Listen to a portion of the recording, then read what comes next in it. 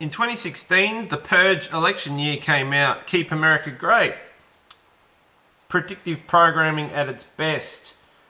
Just prior to Donald Trump winning the election in November. And I covered this back then with the release dates on International Movie Database because Lucifer is, like it says in Isaiah 14, wants to be God, wanted to ascend above the stars of God and sit higher than God on his own throne in Isaiah 14 in your King James Bible. And um, Donald Trump's Keep America Great Again, his slogan was Make America Great Again. So you can see how the predictive programming is unbelievable in these films. Now, July this year, on the 10th, they have announced Universal Pictures that The Purge number 5 is going to come out. They haven't given it a name yet because it's still in post-production but The Purge 5 is coming out. So, The Purge election year released in the USA on the 1st of July 2016. And it's been four years and eight days since the new movie is to be released on the 10th of July 2020. Universal Pictures has announced. It's been four years and eight days since they've made, obviously, the next movie in the series of the Purge movies. Now, just quickly go over my previous information that I posted.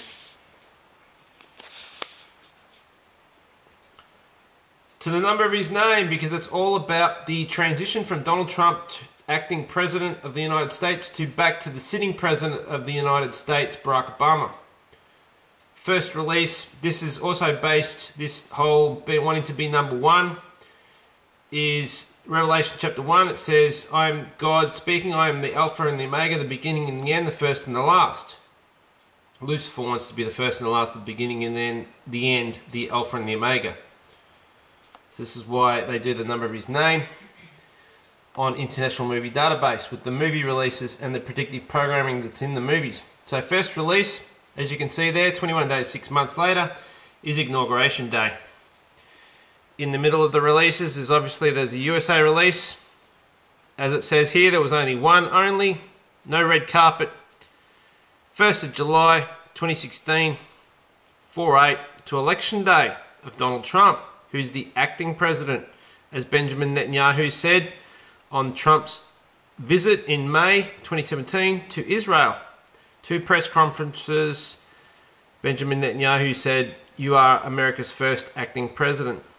In front of everybody, in front of the camera, in front of the world. To Inauguration Day. From Inauguration Day to the last release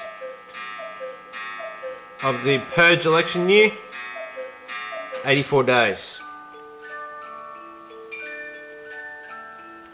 Excuse my cuckoo clock, it's just bad timing. And to finish,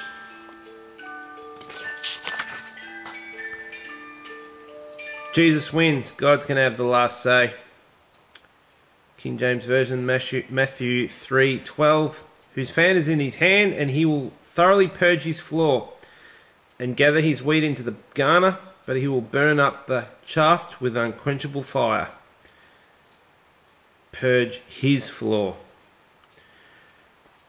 And while we're here, I'll just say in the news that I've been reading about Donald Trump lately, the news reports across the mainstream media from CNN to CNNBC to The Guardian, Telegraph, whatever, they've been using the word the purge. They've been using the word purge with Donald Trump. Purge, purge, purge. So following the script, written for him as the acting president of the United States. Thanks for listening.